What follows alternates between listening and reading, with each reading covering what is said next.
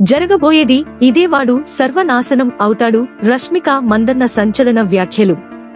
National crush Rashmika Mandanna తెలుగులో చలో సినిమాతో తెలుగు ప్రేక్షకులకు పరిచయం అయింది. ఈ సినిమా సూపర్ హిట్ కావడంతో వరుస సినీ ఆఫర్లు వచ్చాయి.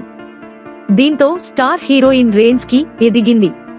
అల్లు అర్జున్తో పుష్ప సినిమాలో నటించి పాన్ ఇండియా స్థాయిలో పాపులారిటీని సంపాదించుకుంది. ఈ పాపులారిటీతోనే బాలీవుడ్లో అడుగుపెట్టి ఏడు బడా ప్రాజెక్టులకు గ్రీన్ సిగ్నల్ ఇచ్చింది.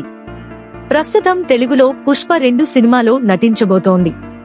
ఈ సినిమాలు రిలీజ్ అయితే మరోసారి రష్మిక మందన పేరు సోషల్ మీడియాలో మారు మ్రోగిపోతుంది ఇకపోతే రష్మిక ఇటీవల కొన్ని వివాదాల్లో చిక్కుకున్న సంగతి తెలిసిందే. కన్నడ నటుడు కాంతారా సినిమా డైరెక్టర్ రిషబ్ శెట్టిపై రష్మిక చేసిన వ్యాఖ్యలు సోషల్ మీడియాలో పెద్ద దుమారం రేపాయి. దీంతో రష్మికను కన్నడ ప్రజలు బాయ్కాట్ చేయాలని భావిస్తున్నారు. వీటిని పట్టించుకొని రష్మిక తన పేరుని ఇంకా పాపులర్ చేసుకుంటుంది. రీసెంట్గా ఓ ఇంటర్వ్యూలో రష్మిక చేసిన కామెంట్స్ ప్రస్తుతం వైరల్ అవుతున్నాయి. మరి ముఖ్యంగా రష్మిక అంతా హాట్నెస్గా ఎలా ఉండగలదు? ఫిట్నెస్ విషయంలో ఆహారం విషయంలో ఎటువంటి నియమాలను పాటిస్తుంది అని అందరికీ డౌట్లు వస్తున్నాయి. వీటికి స్పందించిన రష్మిక ఆసక్తికరమైన కామెంట్స్ చేసింది. నచ్చింది నచ్చినట్లుగా తినేస్తాను డైటింగ్ గురించి ఆలోచించను అని రష్మిక చెప్పుకొచ్చింది.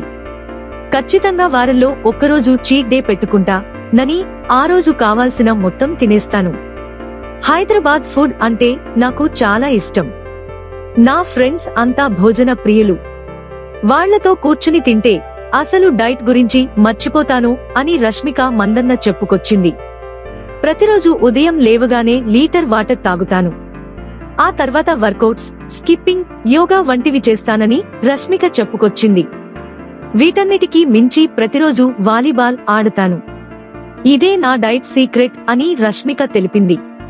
ఇలాంటి ఇంట్రెస్టింగ్ విషయాల కోసం మా ఛానల్ని సబ్స్క్రైబ్ చేసుకోండి.